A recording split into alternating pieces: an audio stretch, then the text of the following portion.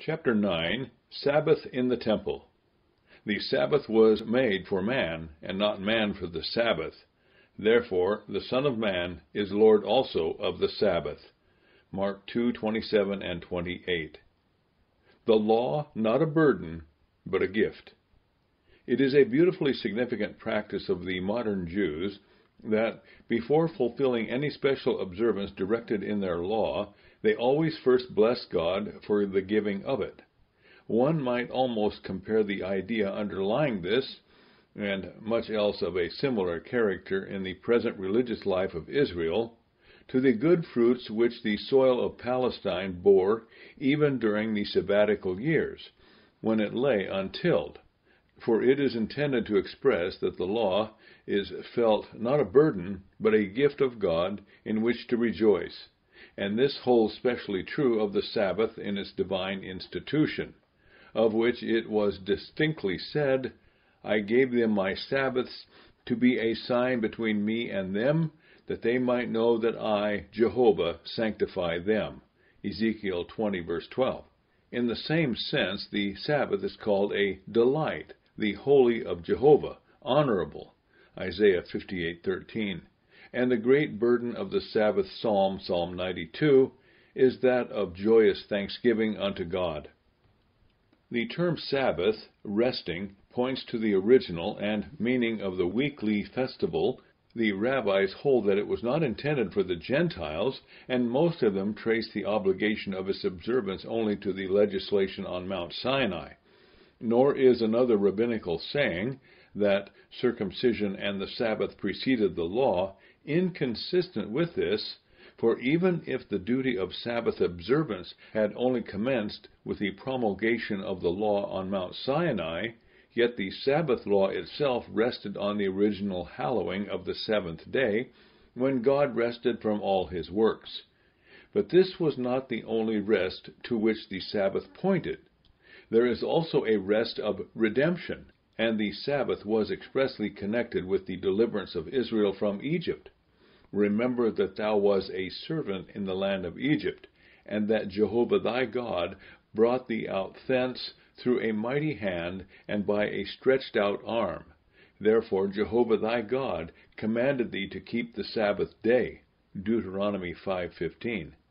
At the close of the workaday week, holy rest in the Lord, at the end of the labor and sorrow of Egypt, redemption and rest, and both pointing forward to the better rest, Hebrews 4:9, and ultimately to the eternal Sabbath of completed work, of completed redemption, and completed hallowing, Revelation 11. Such was the meaning of the weekly Sabbath. It was because this idea of festive rest and sanctification was so closely connected with the weekly festival that the term Sabbath was also applied to the great festivals. For a similar reason, the number seven, which was that of the weekly Sabbath, the first seven that had appeared in time, became in Scripture symbolism the sacred or covenant number. Later perversion of the Sabbath. It is necessary to bear all this in remembrance when thinking of what the perverted ingenuity of the rabbis made the Sabbath at the time of Christ, and probably even more in the generations following. For there is evidence that the Sabbath law has become stricter than it had been, since, for instance, the practice of taking an ox or an ass out of a pit, to which our Savior alludes, Luke 14:5, as uncontroverted, would now no longer be lawful, unless indeed the animal were in actual danger of life. Otherwise, it is to receive food and water in the pit. This actual danger to life, whether to beast or to man, at any rate to Israelites, determined the only cases in which a breach of the law of Sabbath observance was allowed. At the outset, indeed, it must be admitted that the whole social rabbinical legislation on the subject seems to rest on two sound underlying principles. Negatively, the avoidance of all that might become work, and positively, the doing of all which, in the opinion of the rabbis, might tend to make the Sabbath a delight. Hence, not only were fasting and mourning strictly prohibited, but food, dress, and every manner of enjoyment, not incompatible with abstinence from work, were prescribed to render the day pleasurable. All the days of the week, the rabbis say, has God paired, except the Sabbath, which is alone, that it may be wedded to Israel. Israel was to welcome the Sabbath as a bride, its advent as that of a king, but in practice all this terribly degenerated. Readers of the New Testament know how entirely and even cruelly the spirit and object of the Sabbath were perverted by the traditions of the elders. But those only who have studied the Jewish law on the subject can form an adequate conception of the state of matters, not to speak of the folly of attempting to produce joy by prescribed means, nor of the incongruousness of those means considering the sacred character of the day, the almost numberless directions about avoiding work must have made a due observance of the Sabbath rest the greatest labor of all. All work was arranged under 39 chief classes, or fathers, each of them having ever so many descendants, or subordinate divisions. Thus, reaping was one of the fathers, or chief classes, and plucking ears of corn one of its descendants. So far did this punctiliousness go that it became necessary to devise ingenious means to render the ordinary intercourse of life possible, and to evade the inconvenient strictness of the law which regulated a Sabbath day's journey. The schools of Shammai and Hillel. The school of Shammai, the sect of the Essenes, and, strange to say, the Samaritans, were the most stringent in their Sabbath observance. The school of Shammai held the duty of Sabbath rest extended not only to men and to beasts, but even to inanimate objects, so that no process might be commenced on the Friday which would go on of itself during the Sabbath, such as laying out flax to dry, or putting wool into dye. The school of Hillel excluded inanimate things from the Sabbath rest, and also allowed work to be given on a Friday to Gentiles, irrespective of the question whether they could complete it before the Sabbath began. Both schools allowed the preparation of the Passover meal on the Sabbath, and also priests, while on their ministry in the temple, to keep up the fire in the Beth Mokad. But this punctilious enforcement of the Sabbath rest became occasionally dangerous to the nation. For at one time the Jews would not even defend themselves on the Sabbath against hostile attacks of armies, till the Maccabees laid down the principle, which afterwards continued in force, that defensive, though not offensive warfare was lawful on the holy day. Even as thus modified, the principle involved peril, and during the last siege of Jerusalem it was not uniformly carried out. Nor was it, so far as we can judge from analogy, sanctioned by Scripture precedent. But this is not the place further to explain either the Scripture or the rabbinical law of Sabbath observance, as it affected the individual, the home, and the social life nor yet to describe the Sabbath worship in the ancient synagogues of Palestine. We confine our attention to what passed in the temple itself. Scripture rules for the Sabbath. The only directions given in Scripture for the celebration of the Sabbath in the sanctuary are those which enjoin a holy convocation or a sacred assembly. Leviticus 23:3. The weekly renewal of the shewbread Leviticus 24:8 and Numbers 4:7, and an additional burnt offering of two lambs, with the appropriate meat and drink offerings, besides the continual, that is, the ordinary daily burnt offering and his drink offering. But the ancient records of tradition enable us to form a very vivid conception of Sabbath worship in the temple at the time of Christ. Formerly, the Sabbath commenced at sunset on Friday the day being reckoned by the Hebrews from sunset to sunset. As no special hour for this was fixed, it must of course have varied not only at different seasons, but in different localities. Thus, the rabbis mention that the inhabitants of a low lying city, like Tiberias, commenced the observance of the Sabbath half an hour earlier, while those who lived on an eminence, such as at Sepphoris, continued it half an hour later than their brethren. If the sun were not visible, sunset was to be reckoned from when the fowls went to roost. But long before that, the preparations for the Sabbath had commenced. Accordingly, Friday is called by the rabbis the eve of the Sabbath, and in the Gospels the preparation. Mark 15:42 and John 19:31. No fresh business was then undertaken, no journey of any distance commenced, but everything purchased and made ready against the feast, the victuals being placed in a heated oven and surrounded by dry substances to keep them warm. Early on Friday afternoon, the new course of priests, of Levites, and of the stationary men, who were to be the representatives of all Israel, arrived in Jerusalem, and having prepared themselves for the festive season, went up to the temple. The approach of the Sabbath, and then its actual commencement, were announced by threefold blasts from the priests' trumpets.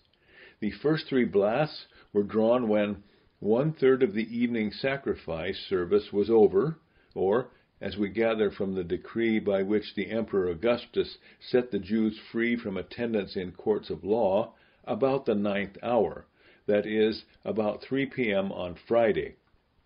This, as we remember, was the hour when Jesus gave up the ghost.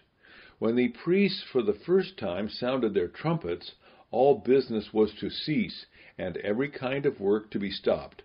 Next, the Sabbath lamp, of which even heathen writers knew, was lit, and the festive garments put on. A second time the priest drew a threefold blast, to indicate that the Sabbath had actually begun.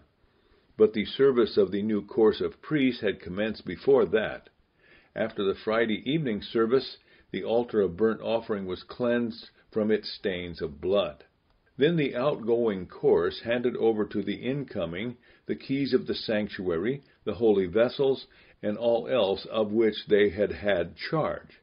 Next, the heads of the houses or families of the incoming course determined by lot which of the families were to serve on each special day of their week of ministry, and also who were to discharge the various priestly functions on the Sabbath.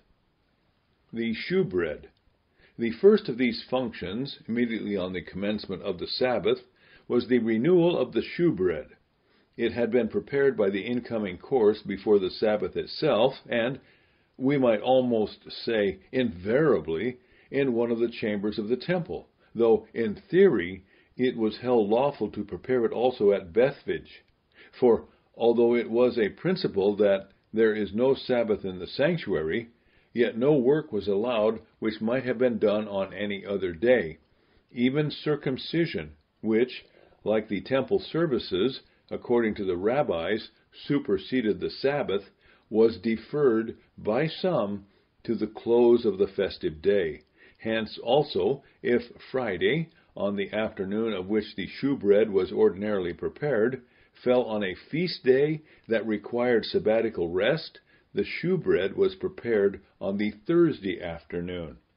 The rabbis are at pains to explain the particular care with which it was made and baked, so that in appearance and color the lower should be exactly the same as the upper part of it. But this subject is too important to be thus briefly treated. Our term shewbread is a translation of that used by Luther which in turn may have been taken from the Vulgate. The scriptural name is bread of the face, that is, of the presence of God, just as the similar expression angel of the face, Isaiah 63:9, means the angel of his presence. From its constant presence and disposition in the sanctuary, it is also called perpetual bread, Numbers 4:7, and bread of laying out, set in order, which latter most nearly corresponds to the term used in the New Testament. The placing and weekly renewal of the bread of the presence was evidently among the principal temple services. The table of shewbread stood along the northern or most sacred side of the holy place, being ranged lengthways of the temple, as all its furniture was, except the Ark of the Covenant, which stood broadways. The table on the Arch of Titus. As described by the rabbis and represented on the triumphal arch of Titus at Rome, the table of shewbread was two cubits long. Two cubits equals three feet. One cubit broad and one and a half high. It was made of pure gold, the feet being turned out and shaped to represent those of animals, and the legs connected about the middle by a golden plate, which was surrounded by a crown or wreath while another wreath ran the top of the table. Thus far its form was the same as that made at the first for the tabernacle, which was of shittim wood overlaid with gold. The table, originally provided for the second temple, had been taken away by Antiochus Epiphanes about 170 BC, but another was supplied by the Maccabees Josephus tells a story about the gift of yet another and most splendid one by Ptolemy Philadelphus. But as its description does not tally with the delineations on the Arch of Titus, we infer that at the time of Christ the table of the Maccabees stood in the holy place. The vessels of the table. Considerable doubt exists as to the precise meaning of the terms used in Scripture to describe the golden vessels connected with the table of shewbread. The dishes are generally regarded as those on which the shewbread was either carried or placed, the spoons as destined for the incense, and the covers, or rather flagons, and the bowls for the wine of the drink offering. On the Arch of Titus there are also two urns. But all this does not prove, in the silence of Scripture, and against the unanimous testimony of tradition, that either flagons or bowls or urns were placed on the table of shewbread, nor that drink offerings were ever brought into the holy place. On the other hand, the rabbis regard the Hebrew terms, rendered covers and bowls, as referring to hollow golden tubes which were placed between the shewbread so as to allow the air to circulate between them, three of these tubes being always put under each, except the highest, under which there were only two, while the lowest rested on the table itself, or rather on a golden dish upon it. Thus they calculate that there were, in all, twenty eight of these tubes to support the twelve loaves. The tubes were drawn out each Friday, and again inserted between the new shewbread each Sunday, since the task of removing and reinserting them was not among those labors which made void the Sabbath. Golden dishes in which the shewbread was carried, and golden lateral plates, further to protect it on the stand, are also mentioned by the rabbis. The shewbread itself the shewbread was made of the finest wheaten flour that had been passed through eleven sieves. There were twelve of these cakes, according to the number of the tribes of Israel, ranged in two piles, each of six cakes. Each cake was made of two omers of wheat. The omer equals about five pints.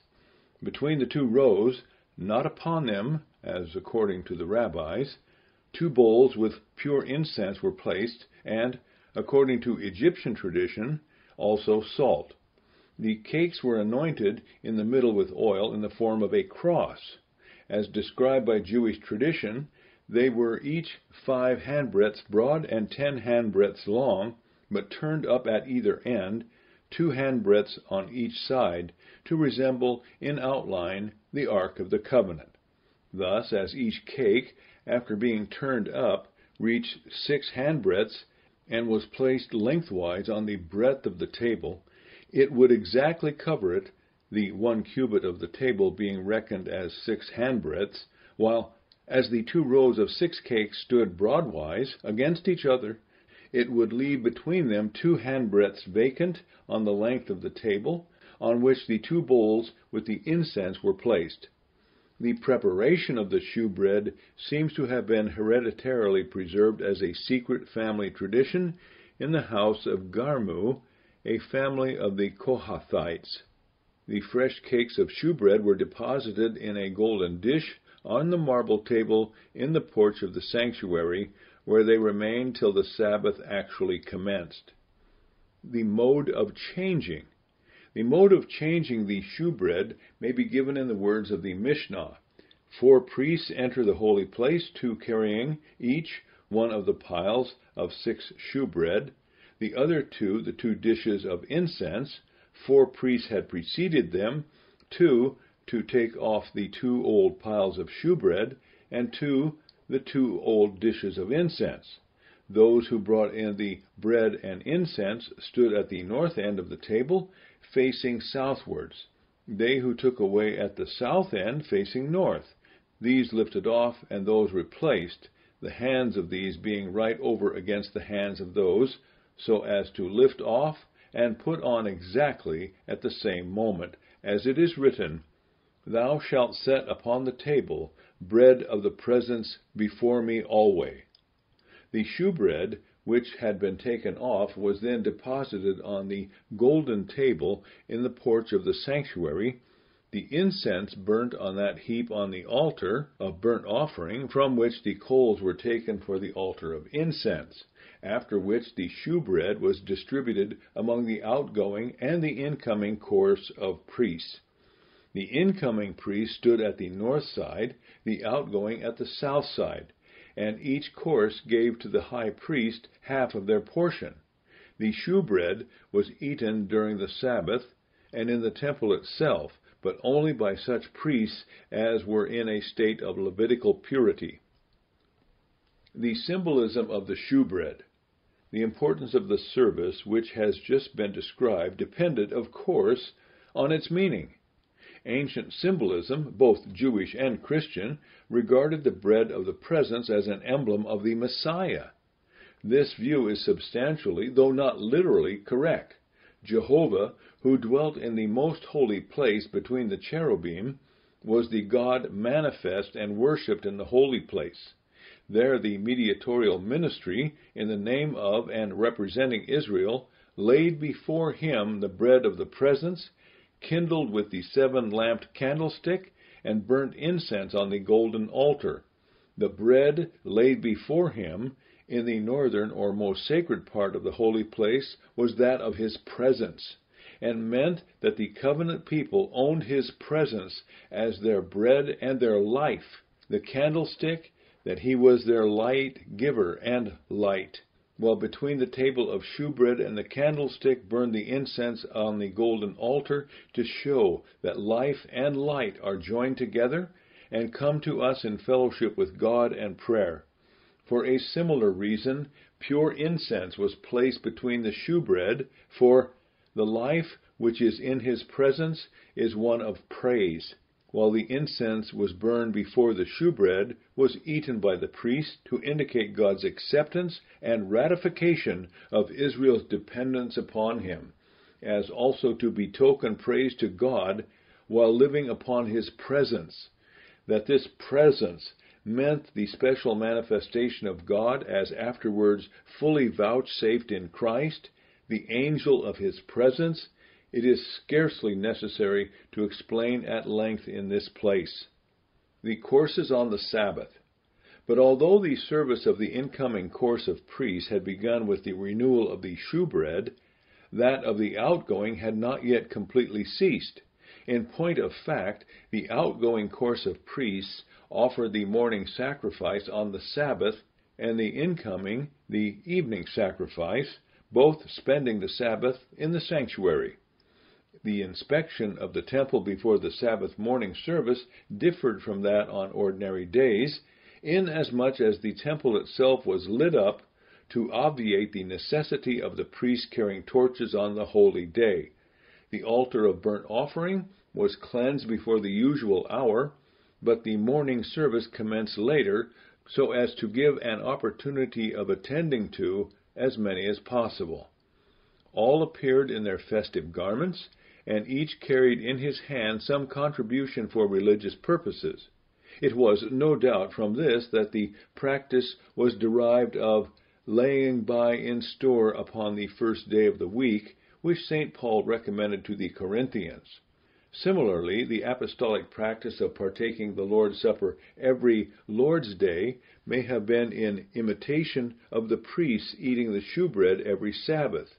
The Sabbath service was in every respect the same as on other days, except that at the close of the ordinary morning service, the additional offering of two lambs, with its appropriate meat and drink offerings, was brought. When the drink offering of the ordinary morning service was poured out, the Levites sang Psalm 92 in three sections, the priests drawing, at the close of each, three blasts from their trumpets, and the people worshipping. At the close of the additional Sabbath service, when its drink offering was brought, the Levites sang the Song of Moses in Deuteronomy 32. This hymn was divided into six portions for as many Sabbaths.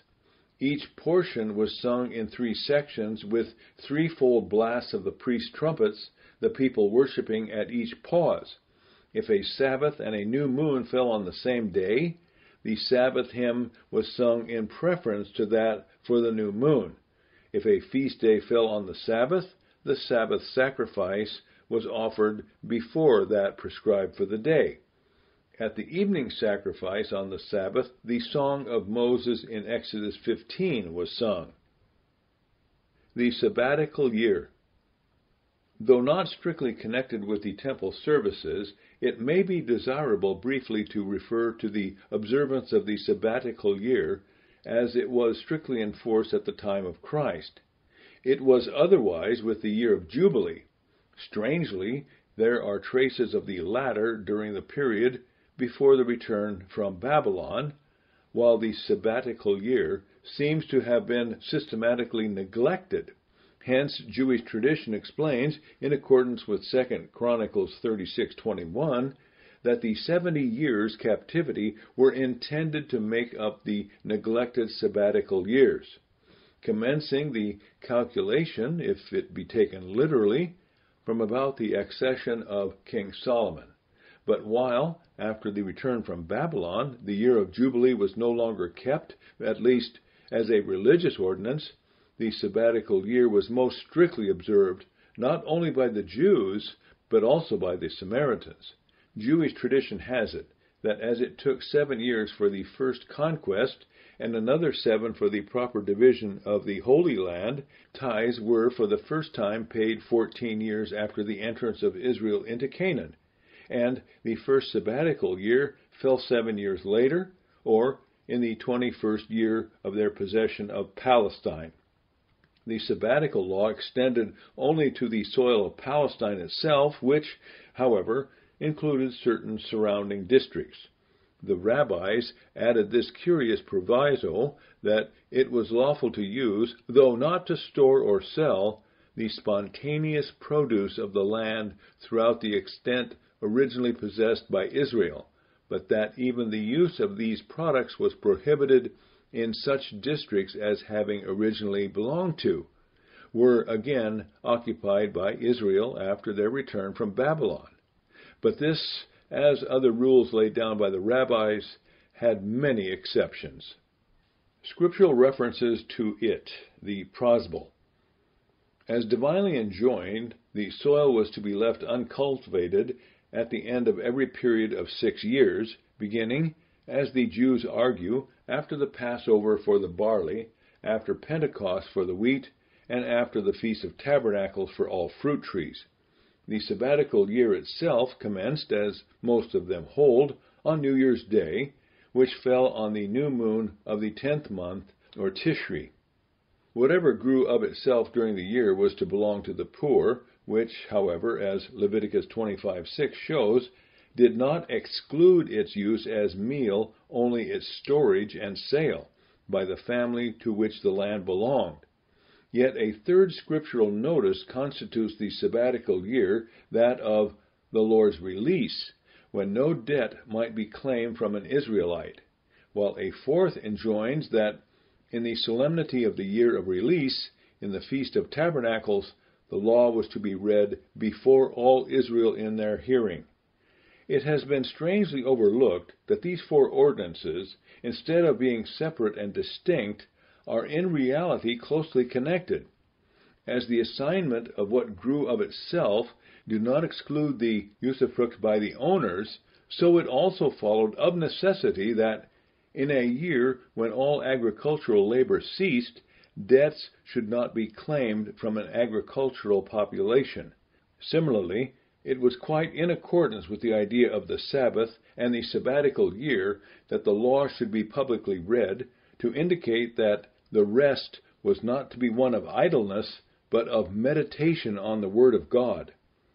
It will be gathered that in this view the divine law had not intended the absolute remission of debts, but only their release during the sabbatical year. Jewish tradition indeed holds the opposite, but by its ordinances, it rendered the law itself void. For, as explained by the rabbis, the release from debt did not include debts for things purchased in a shop, nor judicial fines, nor yet money lent on a pledge, but, as the great Rabbi Hillel found, that even these exceptions were not sufficient to ensure the loan of money in view of the sabbatical year, he devised a formula called prosbul, probably addition, from a Greek word to the same effect, by which the rights of a creditor were fully secured. The prosbul ran thus I, A. B., hand to you, the judges of C. D., a declaration to the effect that I may claim any debt due to me at whatever time I please.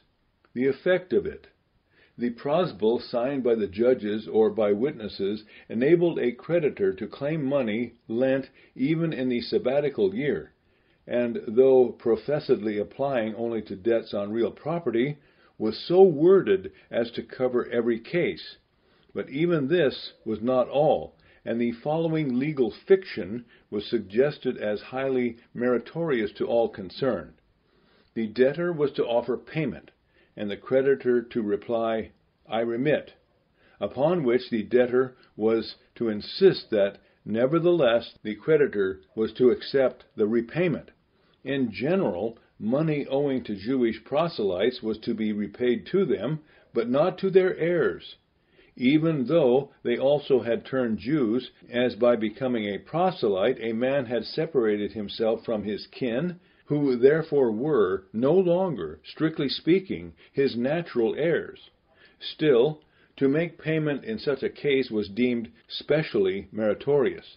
The rabbinical evasions of the law, which forbade the use of that which had grown spontaneously on the soil, are not so numerous nor so irrational.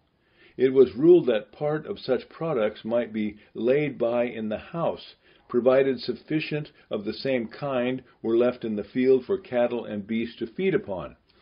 Again, as much land might be tilled as was necessary to make payment of tributes or taxes, the omer, or wave sheaf, at the Passover, and the two wave loaves at Passover, were also to be made from the barley and wheat grown that year in the field.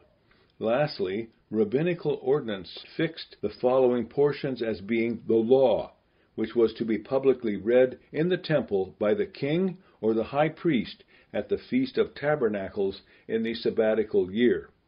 This service concluded with a benediction, which resembled that of the high priest on the Day of Atonement, except that it referred not to the remission of sins. Rabbinical perversion of the sabbatical year. The account just given proves that there was scarcely any divine ordinance which the rabbis, by their traditions, rendered more fully void, and converted into a yoke which neither our fathers nor we were able to bear, than the Sabbath law. On the other hand, the Gospels bring before us Christ more frequently on the Sabbath than on any other festive occasion. It seemed to be his special day for working the work of his Father. On the Sabbath he preached in the synagogues, he taught in the temple, he healed the sick, he came to the joyous meal with which the Jews were wont to close the day, Luke 14:1. Yet their opposition broke out most fiercely in proportion as he exhibited the true meaning and object of the Sabbath. Never did the antagonism between the Spirit and the letter more clearly appear. And if in their worship of the letter they crushed out the spirit of the Sabbath law, we can scarcely wonder that they so overlaid with their ordinances the appointment of the sabbatical year as well nigh to extinguish its meaning. That evidently was, that the earth and all that is upon it belongeth to the Lord, that the eyes of all wait upon him, that he may give them their meat in due season, that from the land of Israel was his special possession, that man liveth not by bread alone, but by every word that proceedeth from the mouth of the Lord, and that he giveth us our daily bread, so that it is vain to rise up early, to sit up late, to eat the bread of sorrows. Psalm 127 2. Beyond it all, it pointed to the fact of sin and redemption the whole creation, which groaneth and travaileth in pain together until now, waiting for and expecting the blessed Sabbath, when creation itself shall be delivered from the bondage of corruption into the glorious liberty of the children of God. Romans 8:21 and 22. Thus, as the Sabbath itself, so the sabbatical year pointed forward to the rest which remaineth to the people of God when, contest and labor completed, they sing on the other side of the flood the song of Moses and of the Lamb. Revelation 15:3 and 4. Great and marvelous are thy works, Lord God Almighty, just and true are thy ways. Thou King of saints, who shall not fear thee, O Lord, and glorify thy name? For thou only art holy, for all nations shall come and worship before thee, for thy judgments are made manifest.